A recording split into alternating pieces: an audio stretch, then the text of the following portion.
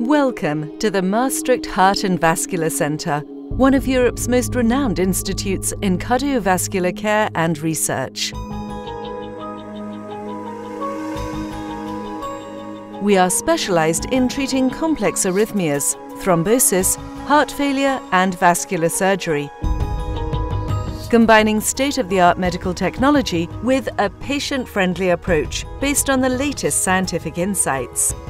We have been able to um, attract uh, the most uh, experienced physicians in that specific area and have been able to combine that with innovation, uh, basic and translational research. And we have the infrastructure to um, perform these procedures, meaning that we have the most modern hybrid operating rooms, cath labs, and other intervention environments. Make the high quality care provided by the Heart and Vascular Centre available to our international patients, we have an international patient office with case managers who provide support from initial assessment right through to aftercare.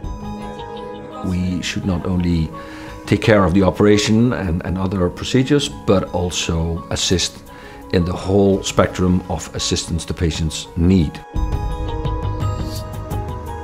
And this includes application at the national authorities or the national health care providers, the insurance companies.